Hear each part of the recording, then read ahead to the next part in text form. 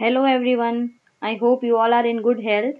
Myself, Vala Radhika, I welcome you all to my channel Engineering Tech Tech. So friends, from today onwards, we are going to start with a new video lecture series for your subject Microprocessor and Assembly Language Programming and in short we call it as MALP. But before jumping to the core content, let us get some introduction portion for processors. So first let's understand what is processor. So friends as we all know right now we are residing in such an era where technology has become an unavoidable part of our life. We cannot even think without leaving of it. And if we talk about few gadgets, they have, they have also become unavoidable part of our life like mobiles and laptops. So friends, when it comes for shopping or buying this stuff, we really go in the deep analysis of uh, many functionalities. And if we go for specific things, we go for checking up the processor.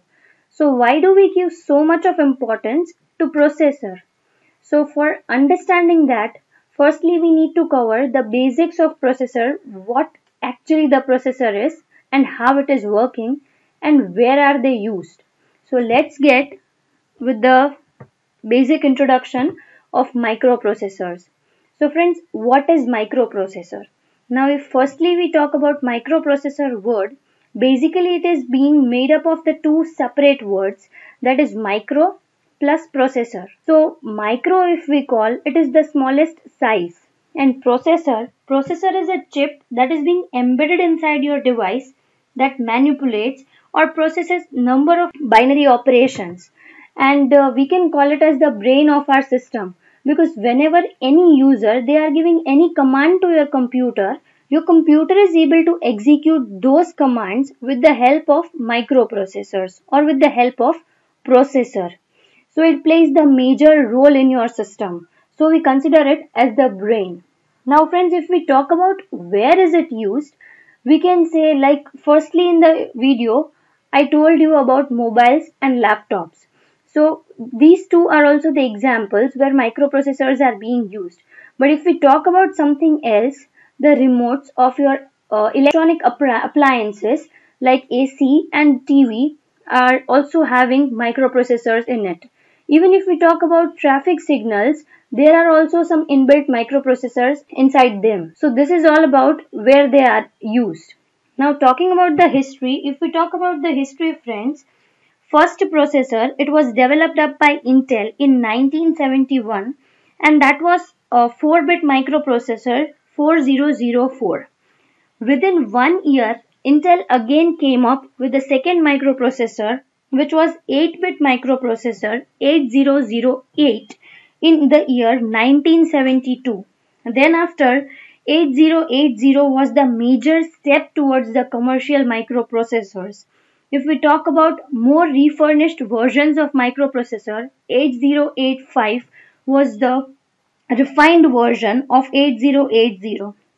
After coming to 8085, the refined versions were 8086, 80186, 80286, 80386, 80486, P1, P2, P3, C2D, CI7, etc. So all these versions are now available in the market. So friends, this was something the history of microprocessors. Now if we talk about the roadmap of our uh, video lecture series, I'll just show you in brief how we are actually going to conduct this video lecture series. So friends, this is something the basic introduction of basic microprocessors.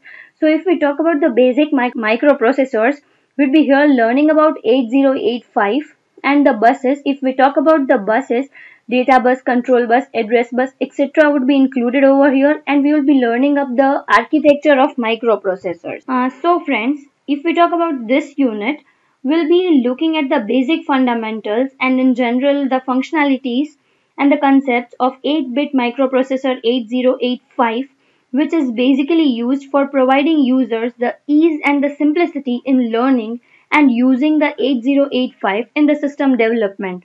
So all these things are going to be covered in this unit. Now talking about the another unit, our second unit is instruction cycle and timing diagram. So friends, if we talk about instructions, basically in 8085 there are totally 74 types of instructions which are used. And for each instruction, our 8085 specifies the instruction format which includes the opcode. And if we talk about the uh, instructions, basically there are three types of instructions that is single byte, two byte and three byte. And here friends, the length is basically used for denoting how much space is being used or how much space is being occupied by the instructions. But if we are grouping these instructions, basically these instructions can be grouped up in data transfer, arithmetic, logical, branch, stack, etc.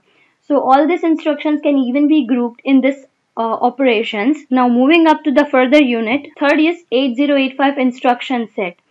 So friends, in previous unit we learned uh, the basic overview of various type of the instructions and their groups and uh, here we would be learning in depth about all such instructions.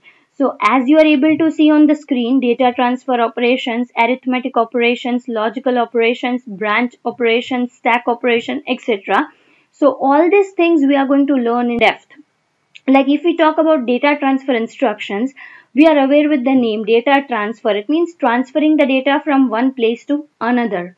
If we talk about arithmetical operations, we know addition, subtraction, increment, decrement, all such instructions are, uh, all such operations are included in such types of instructions.